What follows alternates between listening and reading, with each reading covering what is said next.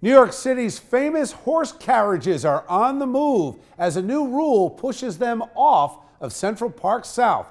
Our Nate Rogers has the story on both sides and how people are reacting. Bill carriage drivers are upset about their new parking space, but animal rights activists call this a victory.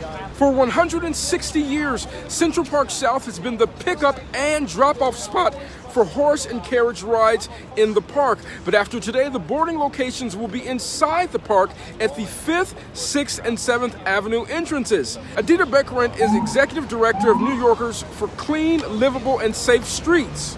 Car exhaust, street construction, having to maneuver and spend all day shackled in traffic. It's just really cruel and dangerous for everyone. The city says the goal was to reduce the amount of time that horses spend alongside vehicular traffic.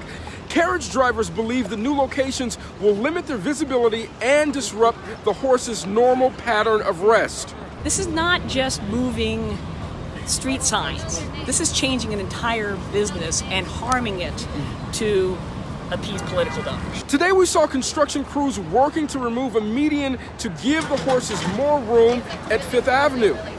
Now take a look, Bill. This is 6th Avenue inside of the park.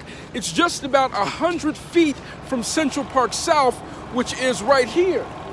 Now, those carriages, they can no longer park there, but they'll still drive along Central Park South. I think de Blasio had a, had a uh, initiative to ban it because of the rights of the animal before, and that didn't fly. So maybe this is something else that he's trying to do to kind of squeeze that that market and squeeze that industry.